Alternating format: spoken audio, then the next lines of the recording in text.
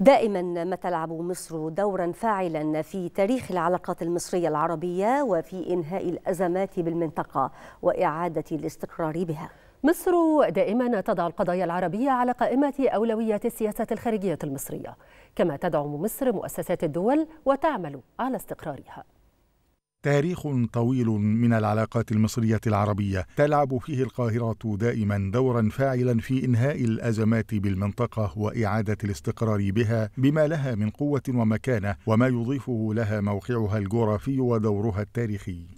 فالسياسة الخارجية المصرية تجاه الأزمات في المنطقة العربية تستند إلى عدة مرتكزات تتلخص في ارتباط الأمن القومي المصري والعربي ارتباطا وثيقا. فالقضايا العربية على قائمة أولويات السياسة الخارجية المصرية وهو ما ترجمته الزيارات الرئاسية المتعددة والمتواصلة للعواصم العربية لتوطيد العلاقات وللتنسيق بشأن القضايا المشتركة. كما أن القاهرة لم تكن غائبة على المستوى الرئاسي على المحافل العربية التي تناقش أزمات المنطقة وعلى رأسها القمم العربية فكانت القضية الفلسطينية والأزمة السورية والليبية حاضرة بقوة في اجتماعات الرئيس السيسي مع المسؤولين العرب والأجانب ومسؤولي المنظمات الدولية. وكان الهدف المصري واضحا دائما وهو دعم مؤسسات الدول والعمل على استقرارها والحفاظ على وحدة أراضيها في مواجهة التدخلات والأطماع الخارجية. وبالإضافة إلى تعميق التعاون الثنائي مع الزعماء العرب كانت المبادرة أيضا لجمع الأشقاء.